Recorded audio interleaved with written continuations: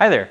Uh, we'll be talking about Slack. Slack is the communication tool that we use to talk between the studios, also between the studios and the commission staff and anyone else that might need help and want to provide support on these topics.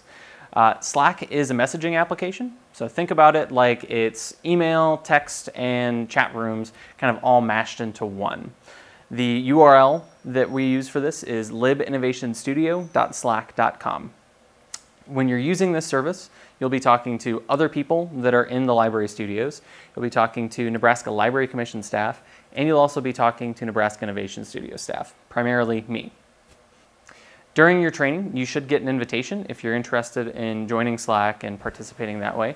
Uh, it's a link that you follow, and you can get set up from there. It takes about five minutes to set up your account. When you do set up your account, I'm going to ask for just two pieces of information. I'm going to ask for your name, and uh, under what I do, I'm going to ask for your city and then your role. So if you're a library staff, I'll have you do that there. Or if you're a laser trainer, a CNC trainer, whatever, go ahead and list that there. It does have fields for other and more information, but please do not provide those. If you want to share your phone number with someone, I want you to choose that. I don't want to be responsible for that information. The layout of Slack, as you can see over here, uh, is fairly simple. On the left-hand side, we have all of our different channels, all of our different chat rooms, if you will. On the right-hand side is the actual forum part of it, where people's messages are going to be listed. Uh, any pictures, anything that they upload will be there. Uh, these different channels, you can think about them as, as chat rooms. In them, you can read history, you can ask people for help, you can share helpful links that you may want to show other people and kind of share different channel topics. Uh, they're going to be organized primarily by machine, and then we do also have a few other support channels listed in there. So if you have a question about the vinyl cutter, go ahead and post it in the vinyl cutter. Uh, if you have a finished project that you really want to show off, you're really proud of, share it in there.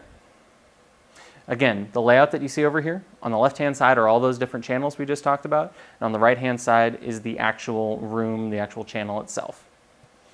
Uh, threads. A lot of what you'll see me doing in this in this forum, in this setting, uh, is going to be organizing all of these different messages into threads so that when someone six months from now has a question and they want to see how this was solved, it's really easy for them to jump back in there and figure out exactly what happened and what order things occurred in. When you have a problem, you may contribute by you know, sharing that problem. Maybe you fixed it. If that's the, how it went, that's fine. Go ahead, share how you fixed it. Uh, if you see someone else having an issue, please by all means jump in and help out. Uh, I'm pretty fast when it comes to Slack, but you know if you're faster than me, by all means go for it. Uh, you can also share helpful links as you're going. So we have a case study here of CNC uh, help.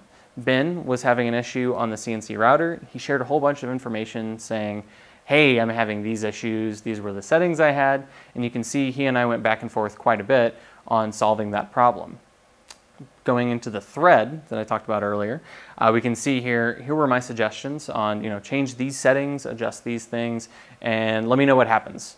He and I, again, went back and forth for some time, and then we're able to get that good.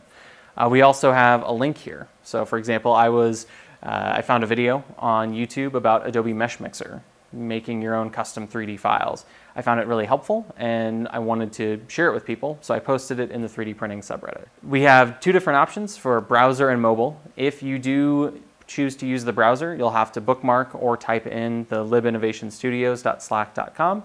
Uh, or if you set it up on your phone, you'll set it up one time and go from there. I will ask you to adjust the notifications to whatever you like, whatever you need.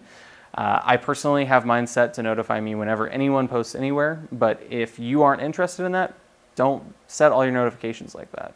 Uh, make it custom to what you need. Uh, that's everything that we have for Slack. Thanks.